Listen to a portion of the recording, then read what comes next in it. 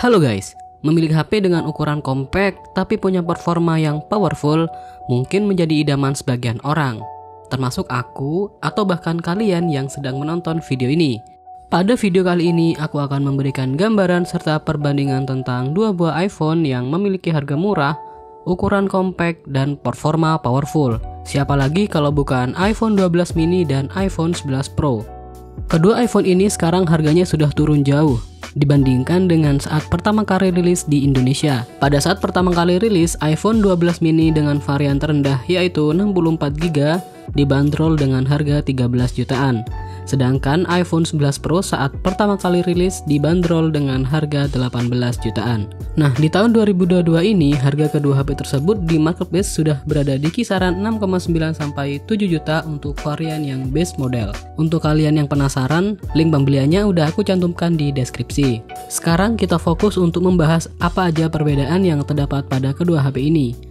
Dan jika kalian berminat untuk meminang salah satu dari HP ini, maka aku sarankan untuk menonton videonya sampai habis untuk dapat menjadi pertimbangan agar tidak salah pilih dalam membeli HP ini.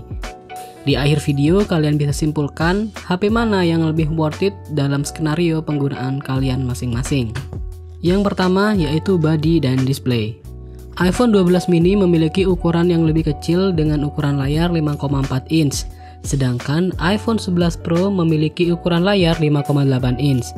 Hal ini tentunya membuat iPhone 11 Pro lebih berat. iPhone 12 mini mengusung desain kotak, sedangkan 11 Pro memiliki desain melengkung. Dari segi layar yang digunakan, kedua HP ini memiliki spesifikasi yang sama, yaitu sudah menggunakan Super Retina SDR OLED, akan tetapi resolusi layar pada iPhone 11 Pro lebih tinggi. Dari segi ukuran, aku sendiri lebih cocok dengan iPhone 11 Pro karena lebih nyaman untuk digenggam dan digunakan dalam keseharian. Mulai dari menonton YouTube, chatting, sosial media, dan bermain game.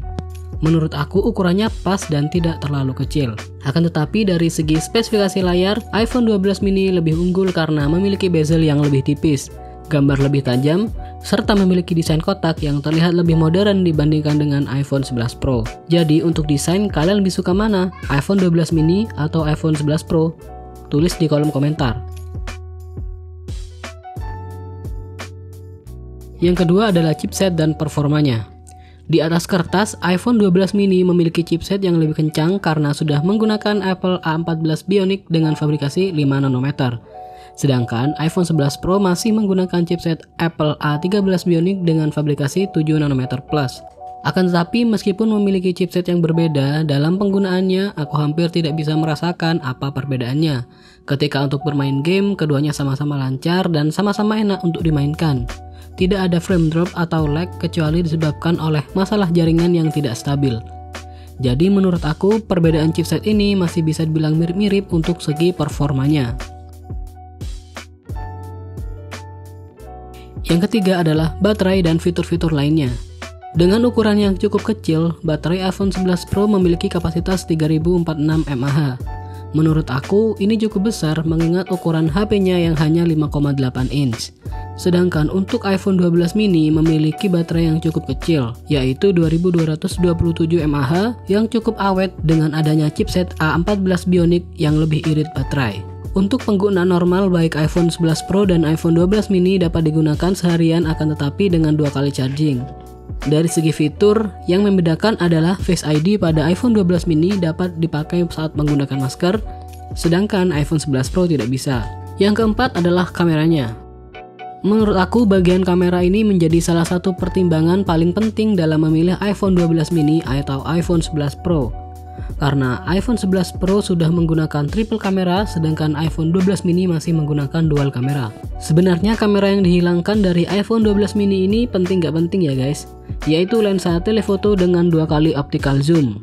Kalau aku sendiri jarang menggunakan lensa telefoto ini. Nah, masalahnya adalah iPhone dengan kamera Boba 3 ini memiliki gengsi yang cukup tinggi. Apalagi ketika berada dalam satu tongkrongan dapat meningkatkan status sosial karena memang tidak dapat dipungkiri bahwa saat ini iPhone telah beralih dari sekedar HP menjadi simbol status sosial di masyarakat. Berikut akan aku tampilkan beberapa foto dan video yang dihasilkan oleh iPhone 11 Pro dan iPhone 12 mini. Dari hasil foto yang ada, terkadang aku lebih suka hasil foto iPhone 12 mini dan di foto lain terkadang aku malah lebih suka iPhone 11 Pro. Foto yang dihasilkan cukup baik dalam kondisi cahaya yang berlimpah dan juga dalam keadaan kondisi cahaya yang sedang.